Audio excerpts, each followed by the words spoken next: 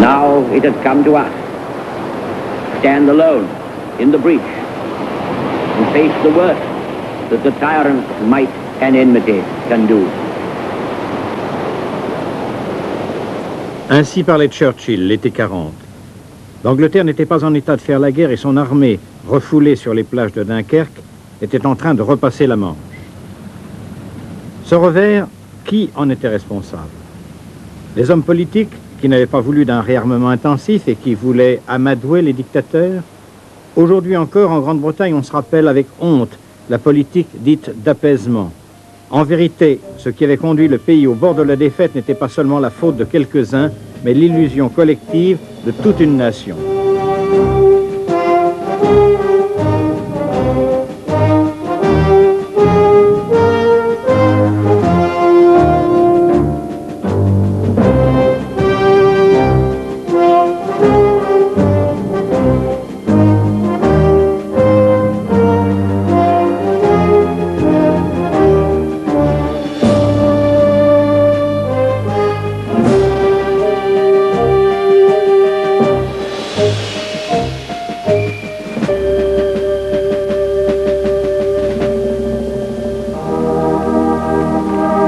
D'abord, un symbole.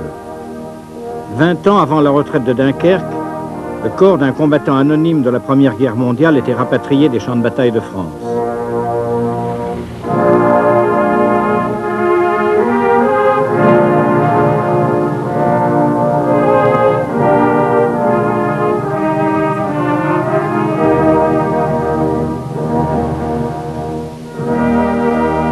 Le cercueil traverse Londres sur un affût de canon. En présence du roi George V, le soldat inconnu a droit à des funérailles nationales en l'abbaye de Westminster.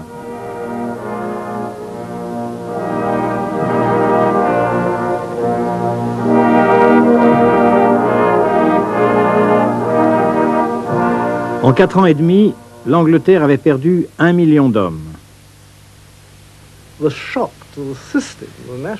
La guerre avait porté un coup très dur à la structure du pays. Aujourd'hui, on n'arrive pas à imaginer combien le choc avait été profond.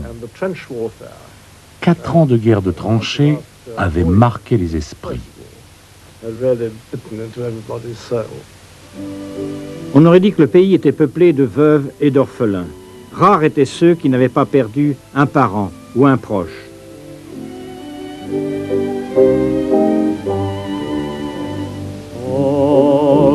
On the western front, so peaceful there where turmoil used to be. Only the tears of each white-haired Mon oncle Arthur était soldat de carrière. Il venait juste de rentrer des Indes. Il n'est pas passé par la maison. Il est allé directement en France. On l'a envoyé au combat. Il a fait les toutes premières batailles. Il a été tué. Lui, un tas de jeunes gens dans la Somme. C'était épouvantable. Seulement, on pensait qu'il n'y aurait plus jamais de guerre. On ne voulait plus de guerre.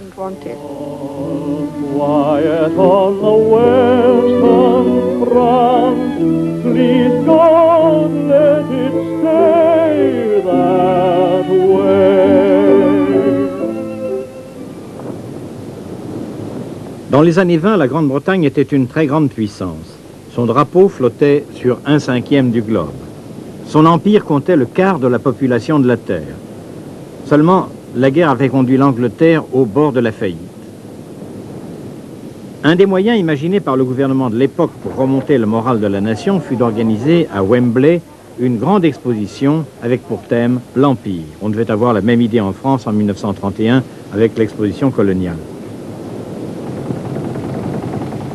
Le sentiment impérial en, Grande-Bretagne n'était pas une fiction.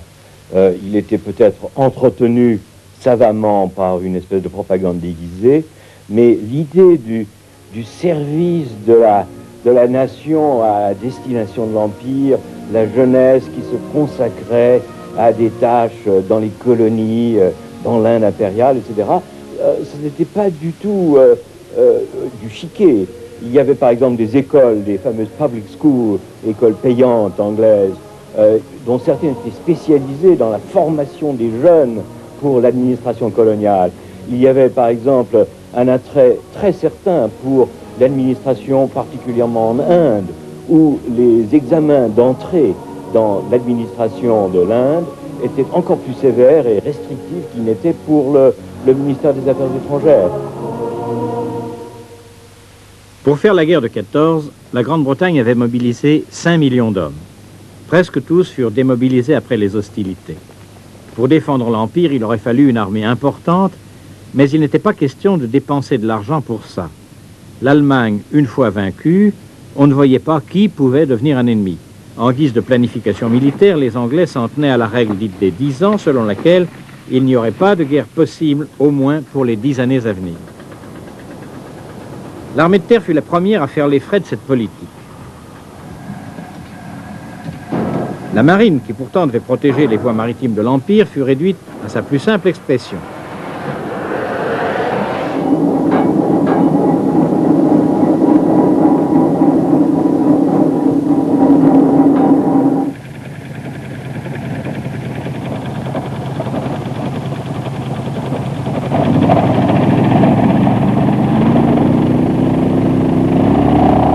L'aviation. En 1918, la Royal Air Force comptait 22 000 appareils, dont 1600 au combat sur le front occidental.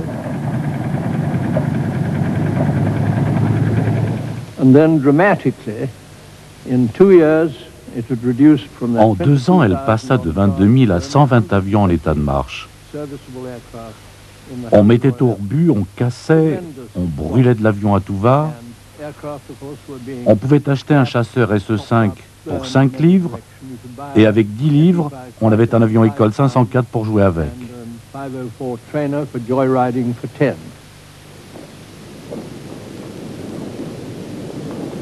Affaiblie par le désarmement et ayant d'autres priorités, la Grande-Bretagne avait placé sa confiance dans la Société des Nations, l'ancêtre des Nations Unies actuelles.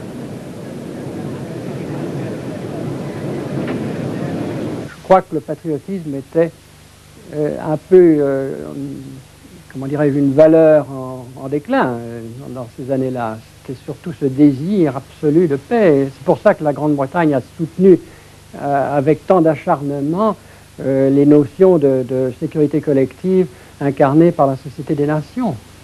Elle y a cru beaucoup plus que la France. Donc, la première préoccupation de l'Angleterre était la protection de son empire. Un empire si vulnérable.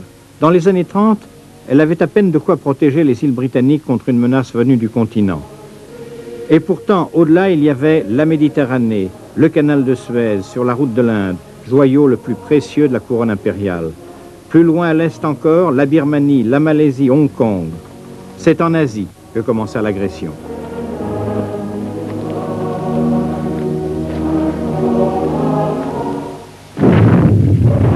1931, le Japon envahit la Mandchourie, province chinoise.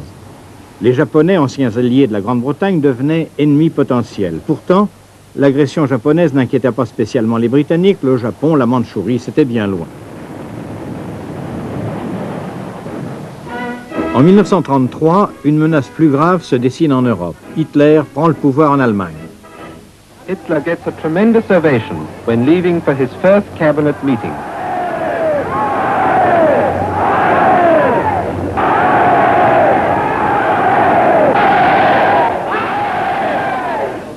Hitler avait promis de déchirer les traités de Versailles et de refaire de l'Allemagne une grande puissance. Apparemment, ça ne dérangeait pas les Anglais qui pensaient que l'Allemagne avait été traitée trop durement après sa défaite. across the way, Hitler appeared at his window, and another milestone is marked in Germany's political history. Nous n'étions pas vraiment indifférents aux événements, mais pas vraiment inquiets. Certains disaient les Allemands aiment à jouer aux soldats. Faute de militaires, ils ont les chemises brunes et le mouvement nazi comme solution de rechange.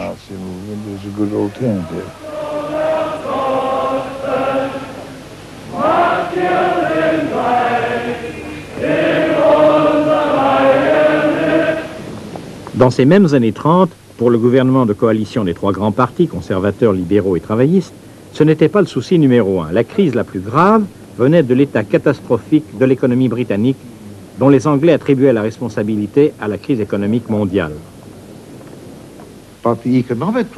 Mais la crise était là. Il fallait faire quelque chose tout de suite. Autrement, et c'était l'avis non pas de quelques originaux, mais des principaux économistes et spécialistes financiers de la presse, autrement une crise effroyable, avec des conséquences catastrophiques, allait s'abattre sur le peuple britannique. Et ça, c'était pour tout de suite. Alors, on ne pensait qu'à ça, et pas tellement aux menaces de guerre.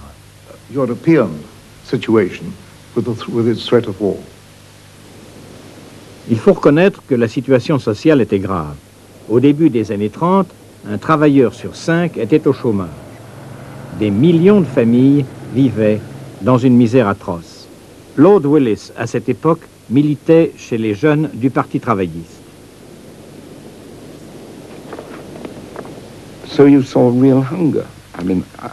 On avait vraiment faim. J'ai eu faim. On ne mourrait pas comme pendant une famine en Afrique, mais j'ai connu les affres de la faim. Qu'est-ce qu'on va manger ce soir? J'ai vu ma mère se désespérer en se demandant comment elle allait faire pour nourrir son mari et ses cinq enfants.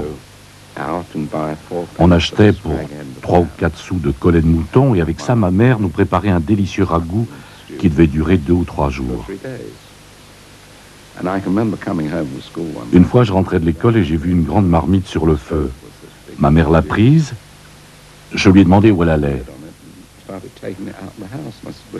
Elle me dit, chez Madame Bushel, une voisine. Mais j'ai très faim.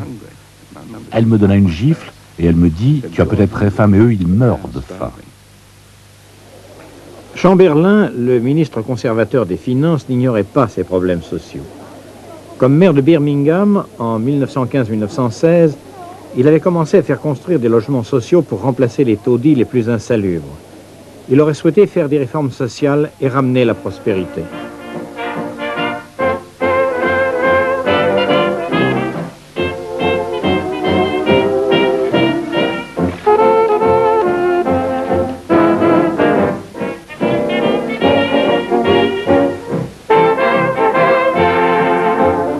En 1933, il retourne à Birmingham à l'occasion de l'attribution du 40 millième logement social. Madame Anna Blizzard habite un de ces HLM depuis le début. C'était un petit palais à côté des taudis. Là-bas, c'était sombre. Ici, on avait de la lumière et tout. Quelle merveille. Tout ça pour nous, nos WC à nous, notre salle de bain à nous. Il y avait de la place pour bouger. Si on voulait, on pouvait se laver tous les jours. C'était un vrai cadeau du ciel. On attendait ça depuis neuf ans.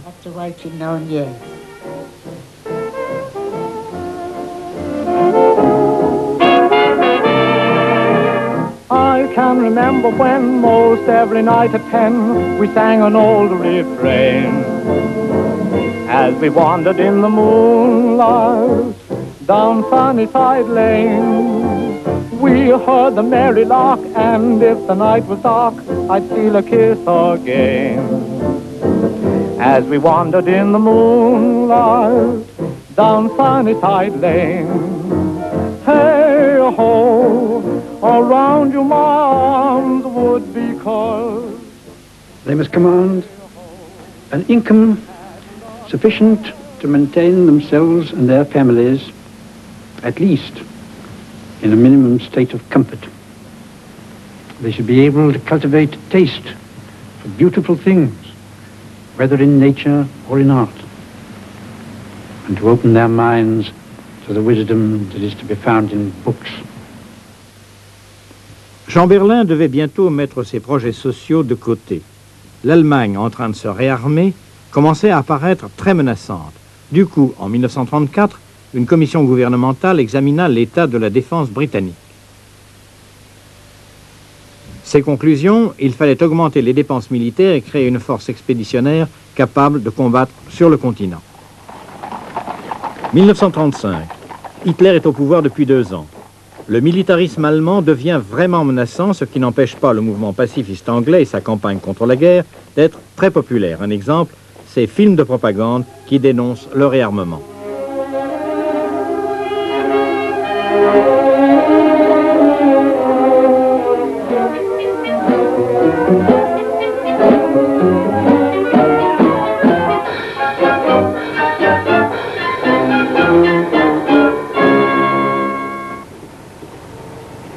I'd fight tomorrow if I thought a war would end war, but that's what they told my father in 1914, and we're no better off now. When there's a quarrel between two people, the police are called in to settle it. Why can't the League of Nations be strong enough to settle disputes between two nations? I was in the last war, and I thought that was going to be the end of it. Now, here we are again, back exactly where we started. Why can't the governments of the world get together to make war impossible? C'était un mouvement pacifiste intellectuel, de gauche aussi, parce que la gauche britannique était pacifiste de par ses origines euh, dans le syndicalisme et dans le, le non-conformisme, je parle du point de vue religieux, ce n'est pas de l'Église d'Angleterre. Pacifisme renforcé par le souvenir des hécatombes de 14-18 et le sentiment que l'Angleterre ne devait pas se mêler des affaires du continent. Une pétition du mouvement pour la paix recueillit plus de 11 millions de signatures.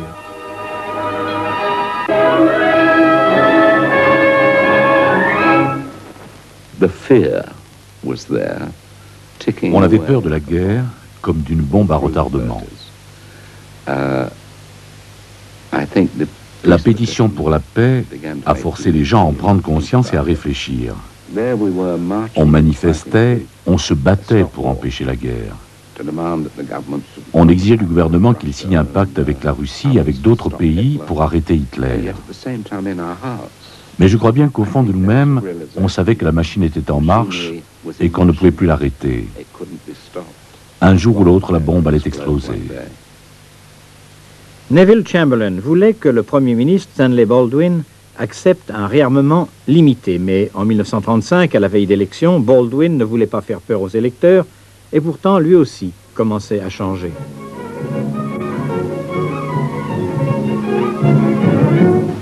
Above all, we desire to go on working to maintain world peace and strengthen the League of Nations. But it is clear from recent events that both our own influence in the world and that of the League itself will be weakened unless we make good the gaps in our defenses.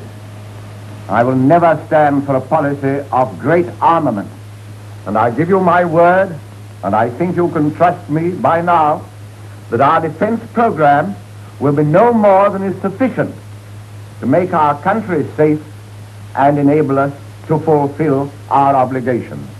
That much we must have. 1935. L'Italie envahit l'Abyssinie. Pour la Grande-Bretagne, le besoin de renforcer sa défense devient incontestable. Jusqu'alors, l'Italie avait été un allié précieux pour le contrôle de la Méditerranée, donc pour la défense de l'Empire. 1936. En Allemagne, Hitler fait entrer trois bataillons de la Wehrmacht en Rhénanie. Violation évidente des traités, mais on pouvait s'y attendre. Depuis des mois, la Grande-Bretagne et la France discutaient de ce qu'elles devraient faire dans ce cas-là. En fin de compte, elles ne firent rien.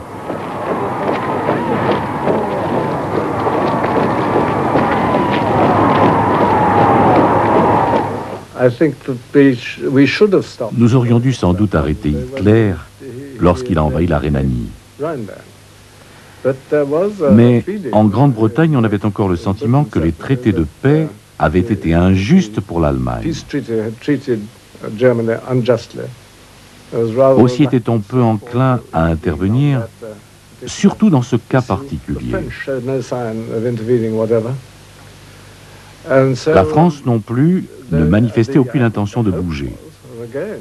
Alors on espérait, bien à tort, que si on laissait Hitler réoccuper la Rhénanie, ça lui suffirait et ses exigences s'arrêteraient là. Grave erreur de jugement. L'opposition au réarmement commençait à s'effriter. Chamberlain put le constater à la conférence annuelle du Parti conservateur. In the minds of any members of His Majesty's government who were present of the determination of the great audience uh, to see the gaps in our defences filled at the earliest possible moment. As Chancellor of the Exchequer, I feel greatly encouraged and heartened by what I heard this morning.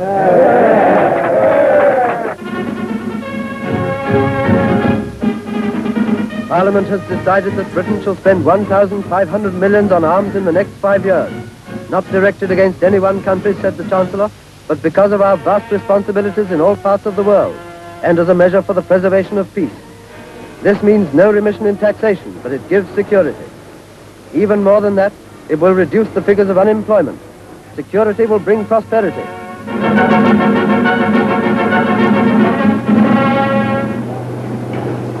1935 marque en Angleterre une année charnière pour la politique de réarmement.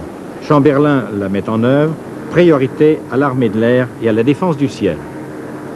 Dans les îles britanniques, la peur des bombardements devint obsessionnelle. Des films de fiction contribuent à cette peur.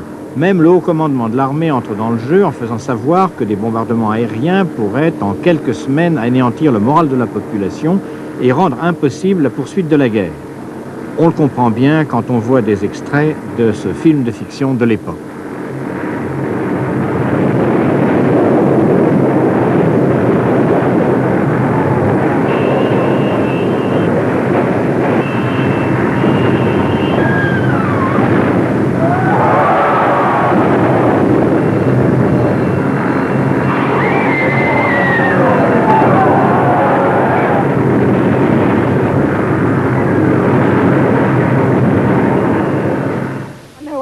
Ça m'a préoccupé très tôt, cette idée de bombardement. On disait, ce sera la fin du monde, n'importe qui peut venir nous bombarder. On avait vraiment très peur. Is London, the world's biggest city, defenseless against attack from the air? RAF pilots have been giving the metropolis an object lesson. Coralie Barnett, auteur du livre intitulé L'effondrement de la puissance britannique, parle de manœuvres politiques pour le réarmement. Avec l'aide de toutes sortes de statistiques bidons, on démontrait que Londres pouvait être réduite en cendres en moins d'une semaine. 3 millions de réfugiés seraient jetés sur les routes, etc. On aurait dit qu'il y avait une sorte de conspiration des généraux et des pacifistes pour dire que la prochaine guerre commencerait par une attaque allemande colossale contre Londres et les grandes villes industrielles. Du coup, le Parlement augmenta les crédits de l'armée de l'air.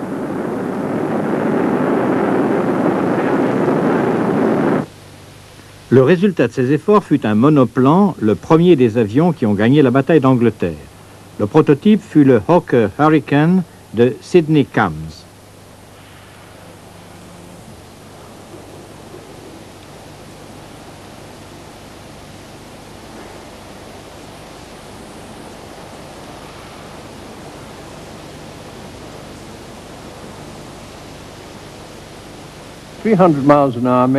Il volait à plus de 450 km/h, vitesse extraordinaire à l'époque.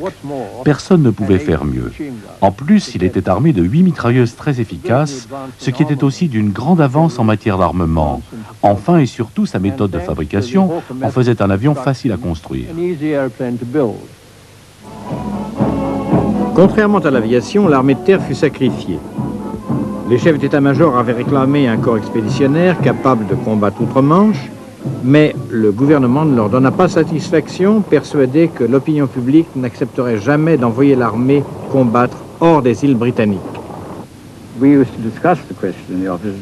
Dans cette situation, les généraux se demandaient ce qu'ils devaient faire.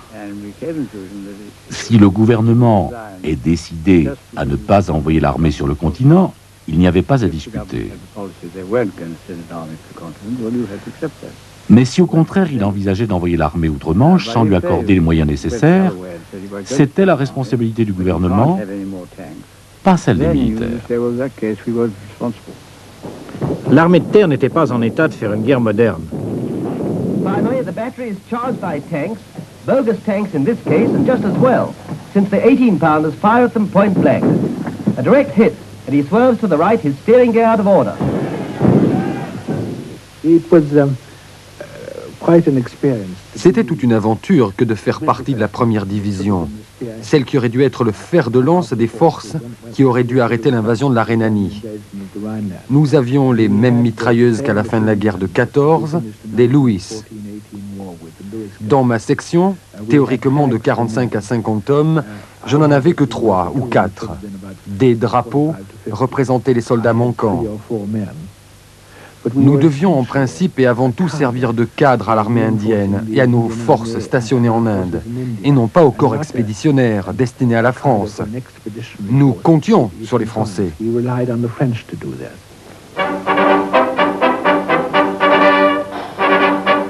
Le public anglais ignorait la faiblesse de son armée. Lors du défilé pour le couronnement du roi George VI, les soldats de l'Empire étaient superbes à voir. Dans ces années d'illusion, c'est tout ce qu'on attendait de l'armée.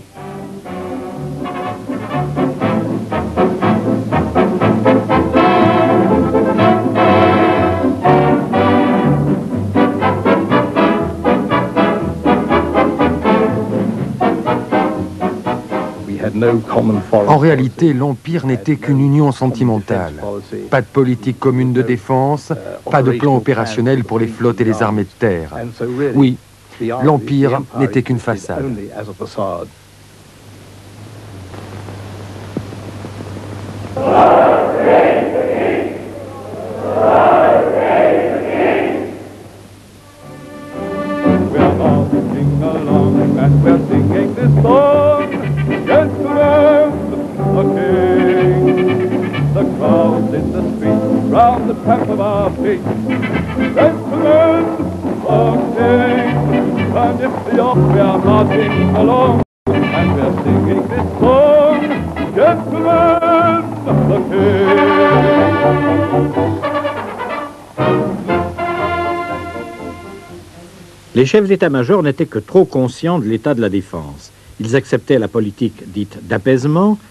ils mettaient en garde contre le danger d'une guerre simultanée en Extrême-Orient, en Méditerranée et en Europe. Ils comptaient sur une action politique pour réduire le nombre des ennemis possibles. En 1937, le nonchalant M. Baldwin quittait ses fonctions de Premier ministre en faveur du plus capable de ses collègues, Neville Chamberlain, homme très énergique et plein de confiance en soi. Quant à Churchill, il accusait le gouvernement de sous-estimer l'ampleur des préparatifs militaires d'Hitler.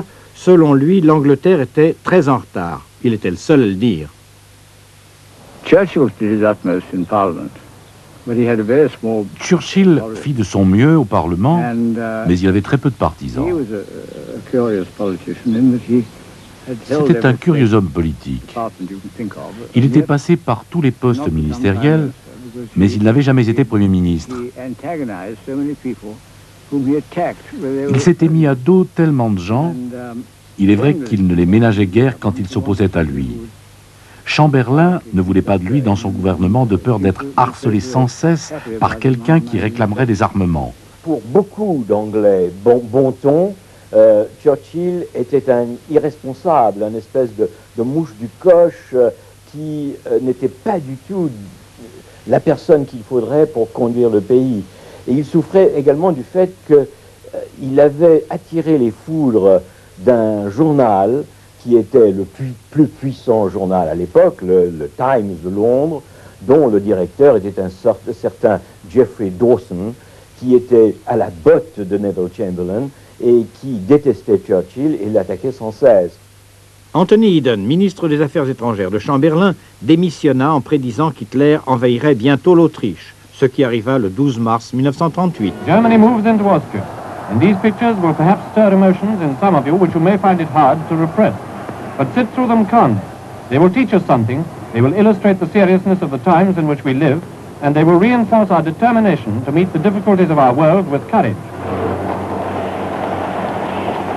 La Grande-Bretagne n'intervint pas, la France non plus. En tout cas, Chamberlain était bien décidé à ne pas laisser l'agression allemande le détourner de sa politique de conciliation. Hitler avait juré d'effacer les injustices du traité de Versailles. L'Autriche, une fois annexée, il lui était plus facile d'atteindre son objectif suivant, la Tchécoslovaquie, désormais menacée du sud, du nord et de l'ouest par les divisions allemandes. Les traités de paix avaient laissé en Tchécoslovaquie une forte et récalcitrante minorité germanophone. Ces Allemands des Sudètes servirent de prétexte à Hitler pour attaquer la Tchécoslovaquie. Le 28 août, tard dans la nuit, Chamberlain crut habile de conseiller aux Tchèques d'abandonner le territoire des Sudètes. Ainsi, il mettait à l'épreuve sa politique de conciliation. De son bureau du 10 Downing Street, voici ce qu'il écrivait à sa sœur.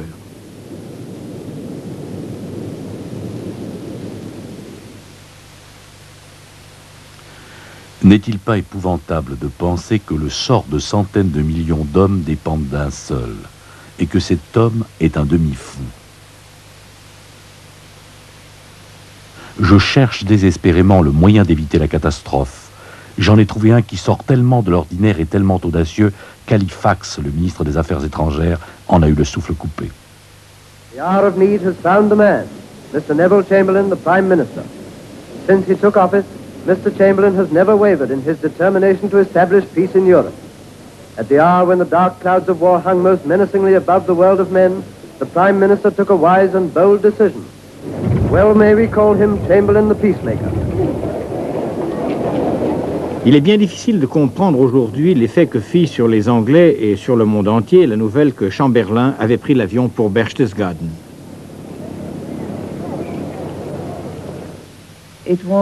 C'était très courageux, moralement et physiquement, car c'était un homme âgé. Ce voyage provoqua chez les Anglais une explosion de sentiments. D'abord, l'admiration.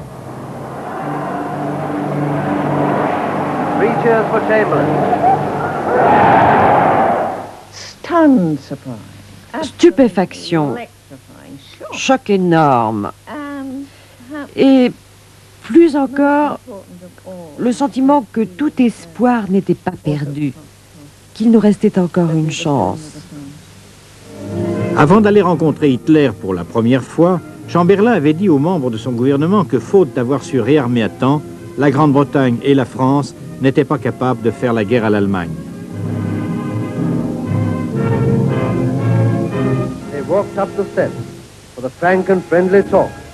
Two men carrying between them the fate of 20 million.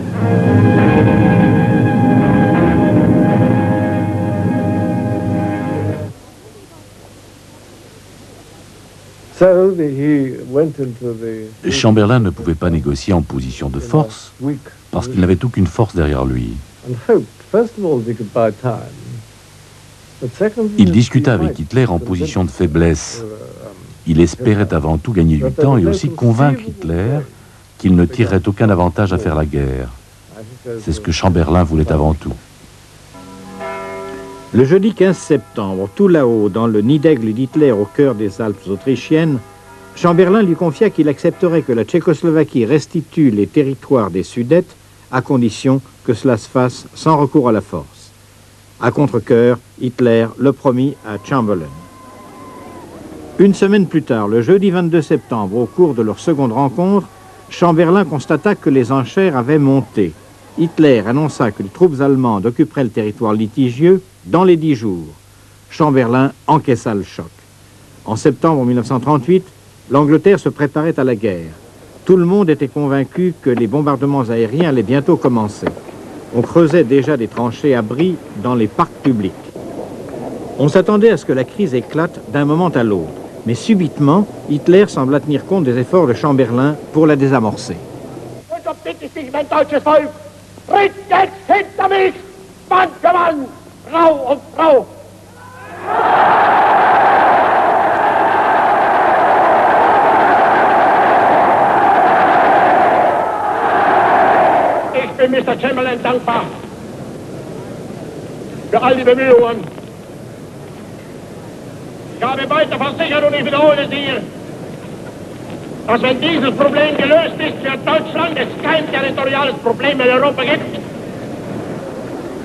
Le 28 septembre, on apprit à Londres qu'Hitler était d'accord pour une nouvelle conférence au sommet.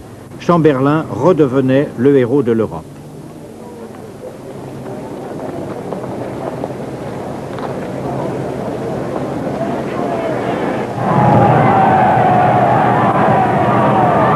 From the north, the south, and the west, four strong men converge on the German town of Munich to make it for one proud day the new center of the world. Mr. Chamberlain.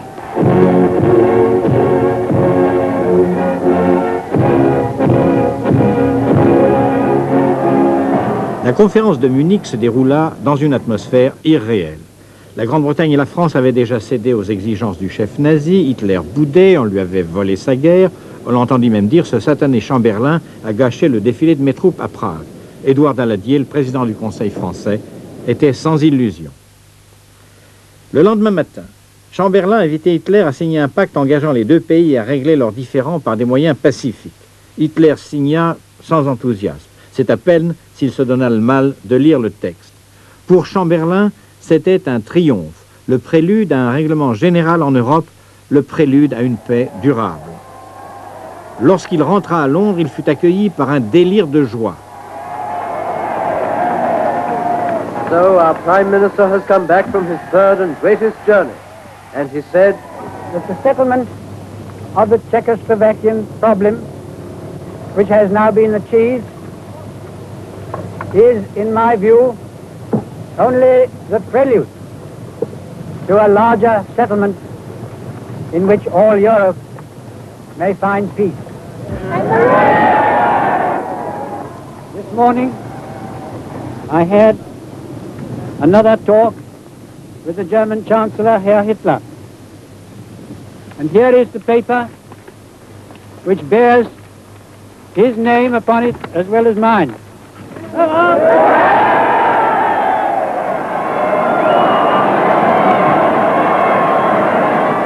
Les Britanniques se réjouissaient, mais en privé, Chamberlain était moins affirmatif. Il le dit à Lord Hume, alors son secrétaire privé, au retour de Munich. Je me demande s'il a jamais bien compris le personnage d'Hitler. Sur la route de Munich, il m'a dit qu'Hitler était le plus vilain bonhomme à qui il ait jamais eu affaire. Il y a des gens comme ça dans les négociations internationales et il n'y a pas moyen d'éviter de négocier avec eux. Y avait-il une contradiction dans le raisonnement de Chamberlain? Pensait-il vraiment qu'Hitler était fou pendant qu'il négociait avec lui comme s'il avait été normal? Je crois qu'il était convaincu qu'il fallait négocier, en tous les cas discuter. Hitler était le maître de l'Allemagne, lui seul pouvait dire oui à la paix ou à la guerre. Pour lui, la parole donnée euh, était incontestée, incontestable.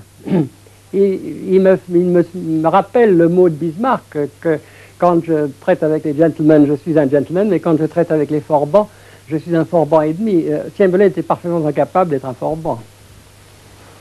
Pour l'opposition, les travaillistes, les syndicalistes, la gauche en général, Chamberlain avait payé trop cher une paix provisoire. Comment vous dire ce que nous pensions de Chamberlain Les mots me manquent. Toute la classe ouvrière et surtout ceux qui étaient proches des travaillistes le considéraient comme le pire ennemi. Pour nous, Munich, c'était le comble. Nous pensions qu'il avait trahi le pays et qu'il avait rendu la guerre encore plus inévitable. L'armée tchèque était très puissante. Elle aurait pu opposer une forte résistance à Hitler. D'ailleurs, à ce moment-là, les Tchèques étaient prêts à entrer en guerre. Munich les a empêchés. Nous avions peut-être gagné du temps, mais les Tchèques avaient perdu.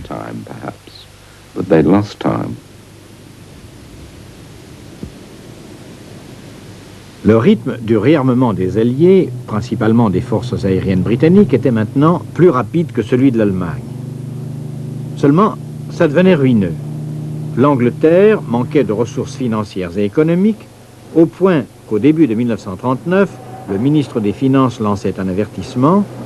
À cette cadence de réarmement, nous courons à la ruine à brève échéance.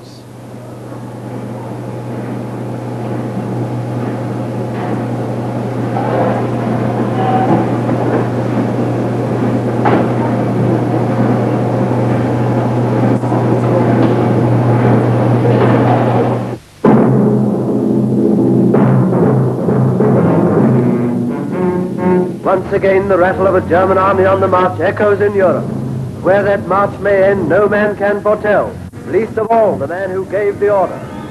But here before our eyes unfolds the drama of a nation dying, À peine cinq mois après Munich, Hitler avait trahi ses engagements. En Grande-Bretagne s'affirmait progressivement la volonté de résister aux prochaines exigences d'Hitler. Même Chamberlain changea de ton et adopta une note churchillienne de défi. That was the German invasion of Czechoslovakia. Ask yourself now the question asked by the British Prime Minister. Is this the last attack upon a small state? Or is it to be followed by others? Is this in fact a step in the direction of an attempt to dominate the world by force? Deux semaines après l'invasion de la Tchécoslovaquie, Hitler laissa clairement entrevoir sa prochaine étape en dénonçant le pacte de non-agression avec la Pologne.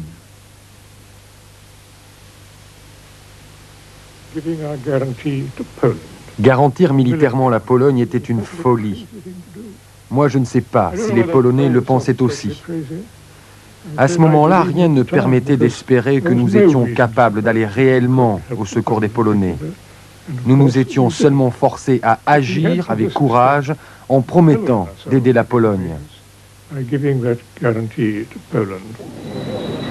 Une mission franco-anglaise arriva peu de temps après à Moscou pour essayer de négocier une alliance militaire avec la Russie. Initiative qui avait pour but d'apporter quelque consistance à la garantie donnée à la Pologne. Cette démarche, engagée à contre-coeur, arrivait trop tard. L'Allemagne concluait avec Staline un pacte de non-agression. Von Ribbentrop, leaving Berlin for Moscow, ushers in a new, incomprehensible chapter in German diplomacy. Where is the anti-Comintern pact? What has happened to the principles of Mein Kampf? Equally, what can Russia have in common with Germany to throw over the peace front, if she had? Newspapers were quick to fasten on the amazing turnaround in Hitler's policy, and one or two found a humorous angle to it. La dernière action diplomatique de Chamberlain était venue trop tard. Il ne pouvait plus que préparer son pays à une guerre inévitable. On avait décrété une conscription limitée. Les volontaires affluaient pour s'engager, comme l'avait fait leur père 25 ans plus tôt. L'armée mit sur pied le corps expéditionnaire que le gouvernement avait refusé si longtemps. Le 3 septembre, deux jours après l'invasion de la Pologne par Hitler, Neville Chamberlain s'adressa par radio à la nation. This morning, the British ambassador in Berlin handed the German government a final note stating that unless we heard from them by 11 o'clock, that they were prepared at once to withdraw their troops from Poland, a state of war would exist between us. I have to tell you now that no such undertaking has been received and that consequently this country is at war with Germany. You can imagine what a bitter blow it is to me that all my long struggle to win peace has failed. Échec personnel pour Chamberlain, c'est vrai. Il n'avait pas su éviter la guerre. En France, presque tout le monde avait approuvé Munich. De la même façon, en Angleterre, le peuple était prêt à tout faire, y compris se boucher les yeux, pour préserver la paix.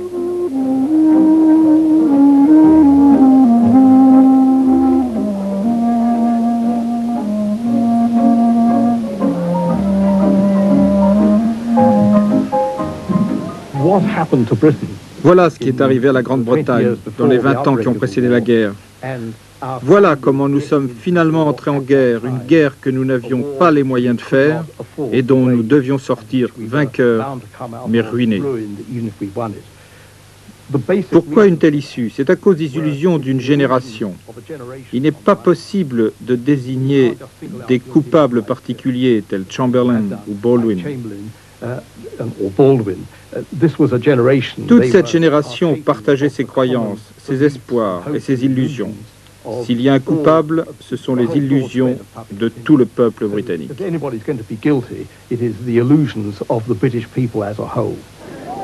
Mais restait encore une illusion à dissiper, celle d'une guerre courte et victorieuse. Six mois suffirent pour que s'effondre le mythe de l'invincibilité britannique. An empire has sprung to arms. Its gallant manhood marches through the roads of France, singing a new song in the old spirit.